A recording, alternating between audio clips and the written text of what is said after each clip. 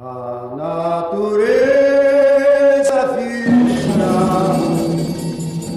na beleza da